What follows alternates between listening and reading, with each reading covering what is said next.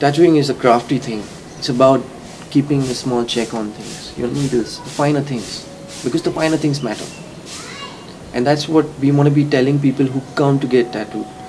Like, watch out for the finer things. You know, look at the finer things. Find the people that are into the finer things because they are the guys paying attention to all these things.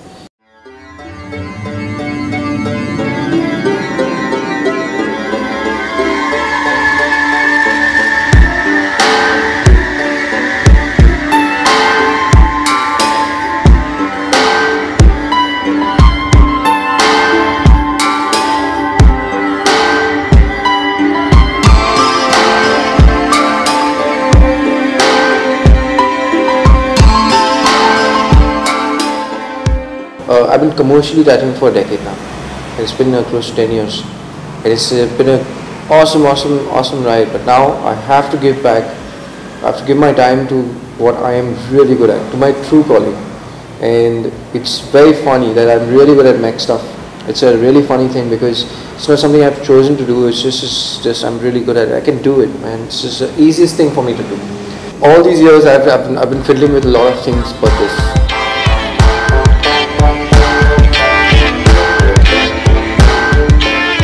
The minute I hit paper, I need to get pumped about it and it needs to happen like in 10 minutes. But I need to listen to like some really good melodic metal and that just sends it down that road and everything is like after that. When I'm tattooing, I have fun.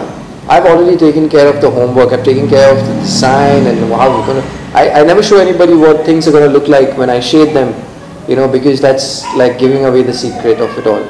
And we make that the exciting part you know, of not knowing how this is going to turn out. I like to be spontaneous when I'm working. Like if I do two lines, I don't know how we're going to figure it out. We're going to figure it out.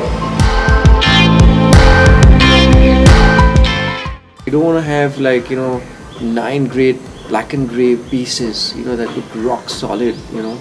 Everything is tight, contrast and this and that. And then have one fucking Maori piece that you didn't know what the fuck you were doing in it.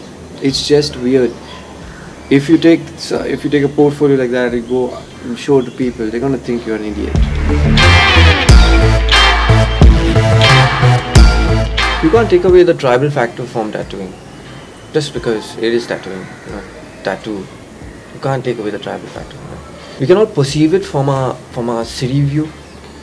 Food gatherer hunter you know uh, protector medicine. Most of tribal tattooing is done from that aspect. 60 70% of it is done from that aspect. And in today's day and age uh, it is extremely important to have a good artist at you because here is our marking of the age. You get something that small that means you're a cheap fucker.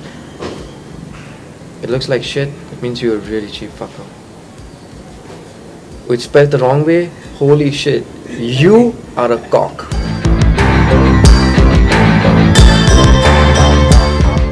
it's, like having a secret. So they make you understand that about it. They make you earn it. Everybody wants to go fast you know everybody wants to go down that hill fast. Let's learn to tattoo let's just go okay? Everybody wants to go down that hill everybody wants to do business everybody wants to have studios everybody's got wings. It's okay. It's absolutely fine. But we are tattooing almost with toys. You can call it high tech whatever crap you want to call it. It's just plastic and it's just the right weight. You spend time with guys who've been doing this for the longest time. Most of them are still working with their coils. Most of them are still making their own fucking needles. Most of them are teaching their apprentices the real things that matter. By giving them uh, the culture. From our culture, we're just gonna get plastic machines.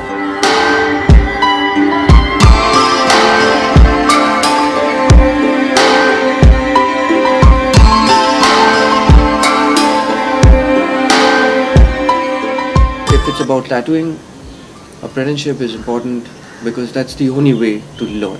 No one with money can come and buy this kind of knowledge out from you. It is like a husband and wife kind of relationship. That's what it is. It's like a marriage of sorts, but in a different environment. You can't be watching like DVDs and then thinking that you can do something like that. There's nothing like hands-on experience with tattooing. That's what it is.